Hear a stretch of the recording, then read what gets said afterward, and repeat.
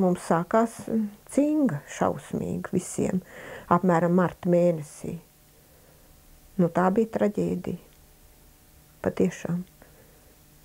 Jau bija kā lazareti mūsu tā mm, baraka, kur mēs bijām.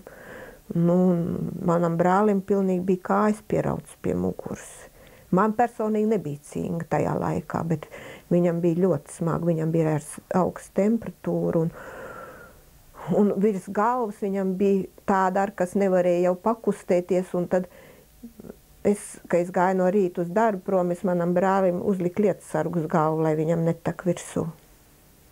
Mm, tā bija, un utis bija, un blaktis bija, un tā vienīgā bija tāda izeja, mm, kad mm, tāds gaismas stariņš, var teikt, bija tāda Lidija Melbārda ar tur. Nē, viņa, tad viņa sauc Zaula.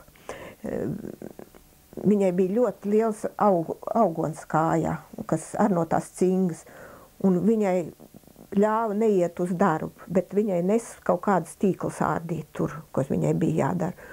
Un tad viņa viss viņas kopa. Patiešām. Nu tā, nu cik bija viņas spēkos tur, vai ne?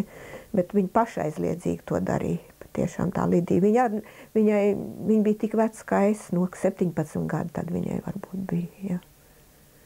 Nu un tad, eh, vārds sakot, atved vienā dienā no kaut kurienes vienu mucu ar lācenēm, saldētām nu, kaut kad rudenī viņas bija salasītas un tur, jo tundri pilna lācenēm.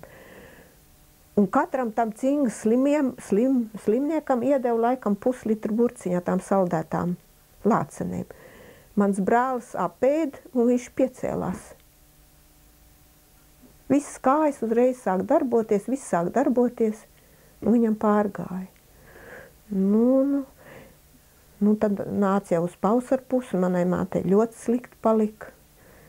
Viņa gandrīz akli palika no, vai no tās cingas, vai no visiem tiem nerviem, vai no visa kā. Nu, un tad eh, kaut kad maija beigās, vai tas bija jūnijas sākums jau, mm, mēs viņus aizvedām uz slimnicu, uz Karūlu. Es atprasījos to vienu dienu, kad es gribu iet uz slimnicu. Man atlaida komendants. Un es aizgāju, man astoņi kilometri bija jāiet līdz karūlai, pa krastu es gāju. Un viņai bija ļoti slikti, jau viņa bija tādā, un es atnācu vakarā apakaļ, un es brālim vēl teicu, ka man liekas, ka viņa ne, nu, neizdzīvos. Tik zinu, ka naktī brālis ļoti raudāja, man viņš bija ar žēli, un Es otrā rītā aizēju pie tā komendanta un saka, man jāiet vēlreiz ir uz slimnīcu. Viņš saka, nevar, nedrīkst iet. Viņš nelaiž man. Nu, un es teicu, bet es iešu. Viņš teica, nu tā man būs proguls un tad man tiesās un liks cietumā. Bet es aizgāju, protams. Nu, un tad viņa pusdivpadsmitos naktī nomira. Es biju klāt, bet viņa nenāca pie samaņas. Kaut ko viņa runāja drusku, bet tā bija tādā nesamaņā. Un viņa kaut ko pa pūcīšiem runāja, pat savām tam tēvu mājām. Nu, un, un tā viņa nomira. Nu, tad es, bet tad jau nebija nakts, tā jau bija diena un nakta gaišs tad jau tajā laikā. Tas bija kāds pāris dienas pirms Jāņiem. Nu, un es tādu kādu stundiņu pasēdēju tur un gāju kājām apakaļ. Es tik zinu, ka man nebija spēka paiet, kas tas būtu 8 km, ko aiziet. Naktī gaišā, gaismā. Es daudzreiz sēdēju, kamēr es aizgāju līdz tam tolstīnosam apakaļ. Jā, nu tā, un tad pateicu, un tad, ka ir mirs, un tad tie zēni uztaisīja, nu, no dēļiem sasita zārku. Un tad ar laivu mēs braucām pakaļ. Tad man čet, mēs piecas sievietes braucām pakaļ. Atlaid mūs, nu, jau nu, kādos četros pēcpusdienā, varbūt vai piecos. Bija ļoti liela strauma upē, tādēļ, ka bija tikko kā ledus gājis un mums bija pret straumu jābrauc. Nu, mēs ilgi braucām, kamēr tā aizbraucām. Tad mēs aiznesām, ielikām zārku laivā un atvedām apakaļ. Pa straumē ātri mēs atbraucām un tad kāds pāris, kādu kilometru no tā Tolstīnos bija it kā kapsēta, bet faktiski tur bija kaut kāds Krievu garīdznieks apglabāts ļoti sen. Viņas to vietiņu un to upi sauc par pīmenku, jo viņam bija vārds pīmens tam Krievu, tam garīdzniekam, un viņam bija tāds mazs, mazs tā kā piemineklis kaut kāds tur ar uzlikts.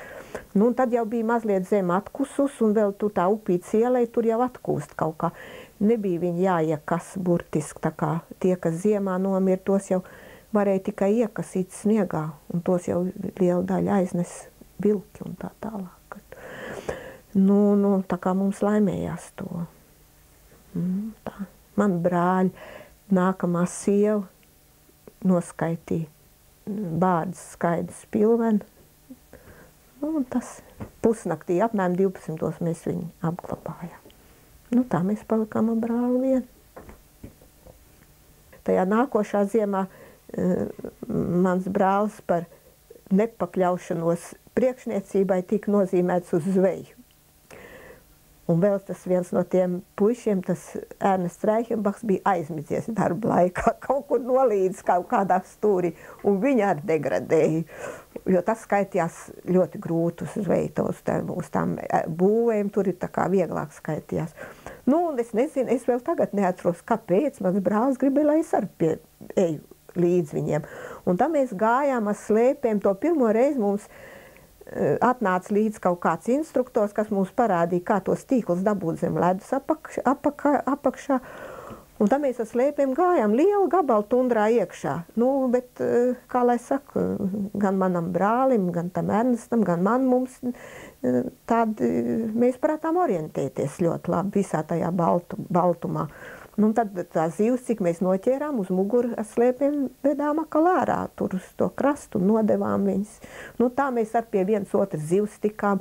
Tajās nākamā vasarā nu, brālis to saprat, kad eh, jāturās pie tās zvejas ir. Jāturās, ka tas tomēr ir, tu, tu esi paēdis vismaz. Un tad viņš kaut ko tur bija apklaušinājies, ko tur un ko viņš bija saklausījies, kad ļoti daudz zivs ķerās Ieņisējas otrā krastā. Tajā vietā Ieņisēja 40 km plata. Bet viņa nav vienā, tur ir salas ar pa vidu, vai ne? Nu, un tad viņš tur, faktiski viņš to noorganizēja, to, ka jābrauc uz turieni ir. Un tad viņš ar to Ernestu Un tā pieteicās brīvprātīgi viņa nākošā sieva, lai gan tad viņiem nebija nekāda romāna vai kaut kas tāds. Vienkārši gribējās prom no visiem komendantiem, no, no visa kā tur, jo tas, nu, pavisam tas ir tā, būs nost no visiem, jo mēs jau to izjūtām, ka mēs sākām iet uz tiem ezeriem, ka tur tev tev kaut kāda brīvība.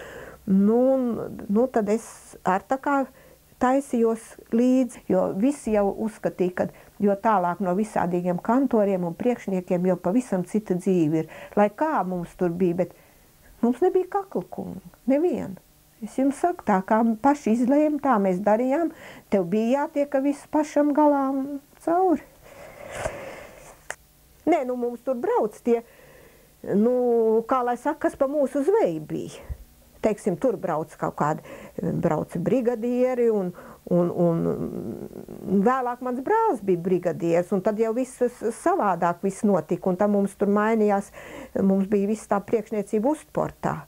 Un tad tā zivs viss tika uz to uzsportu vest un tā jau tur bija, mm, nu, viss tas bija savādāk un tad brālis brauc pats uz uzsportu pēc tīkliem un pēc visa kā tur, kas mums ir vajadzīgs tai zvejai un, Un tā zivs savāc, tad brauc tādu velkonīšu, vilku tādus, nu, neliels tās lielaivas, kas bija pils ar, zivīm, ar ledu tur, un tā viņas ved uz to konzervfabriku, uz par tā bija konzervfabrika.